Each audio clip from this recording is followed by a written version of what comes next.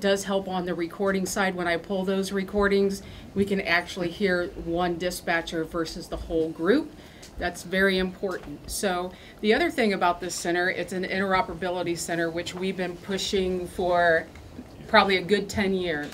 And the reason for that is a lot of small agencies can't afford to build a backup center, but we all need to work together as a team throughout the state of Indiana. So somebody like Elkhart City can come here and dis- dispatch as well, as along with, as well as Fulton County.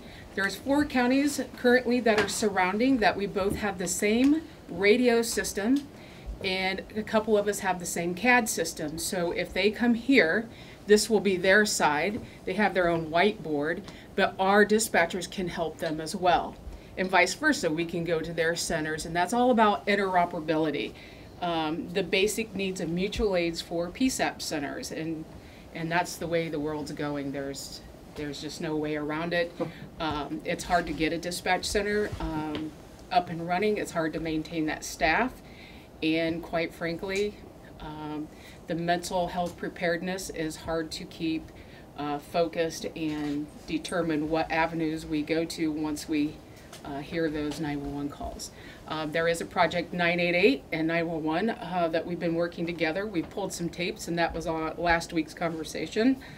Um, so, any questions about interoperability, I'll, I can answer those on a side note or give you a press release and go more in depth on that. But uh, this is our 911 center.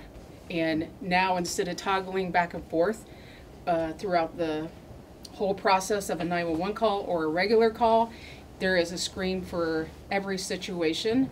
Uh, believe it or not, we do have one more screen that will be hidden here, but we do texting to 911, uh, rapid SOS, and multiple different functions to get that resource to you. And a long time ago, when Jeff Jeff Schemmer here and myself, or go back a long time, our screen we had one screen and one printer that was like this.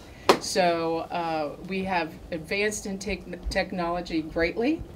Our system to tone out folks was probably this large, right, Jeff? Yes. So uh, we've come a long ways, and um, the stress is unreal. But once you save a life, it makes everything go away, and you come back the next day uh, pumped. So, or the next hour, actually. So. anyway, um, what else can I answer for you? Everything, um, I will tell you, raises and lowers by touch. Um, each station has their own heating and cooling. The cooling, because I had to stay within budget, we don't have air conditioning here, but they have fans.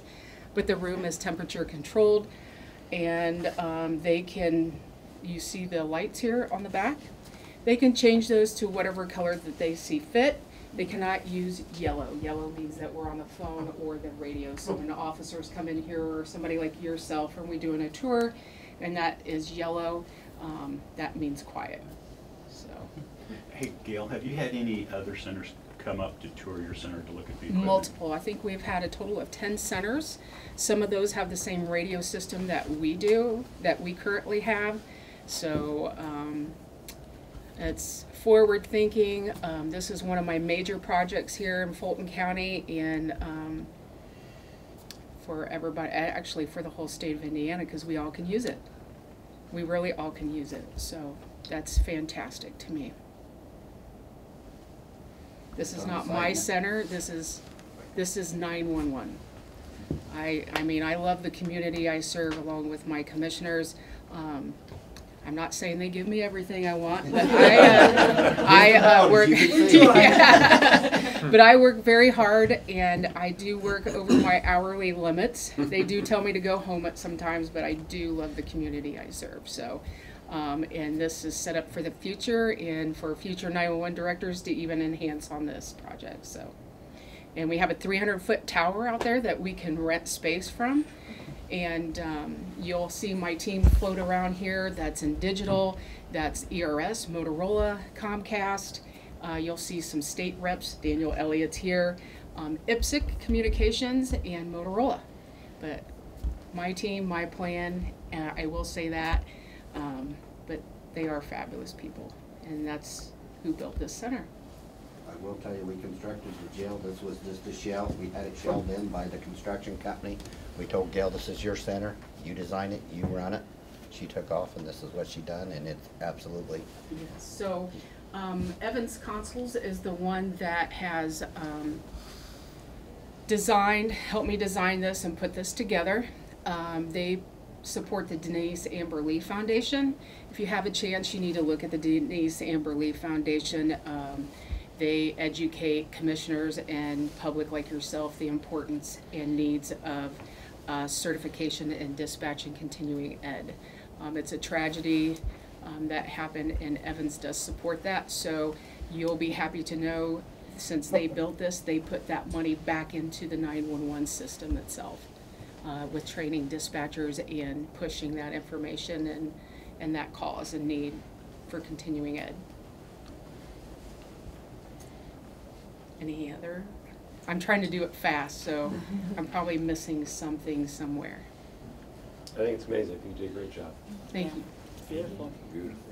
All right, well, I want to thank everybody, especially my commissioners and my family that I've been very grouchy, and my staff and everybody else, um, a few years now, a couple of years, but I want to thank everybody in the push and the support that they've given me and to my community.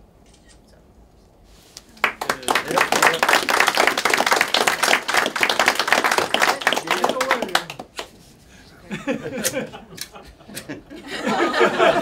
Get a little Not closer, my, get a little closer to the red. There you go. Yeah.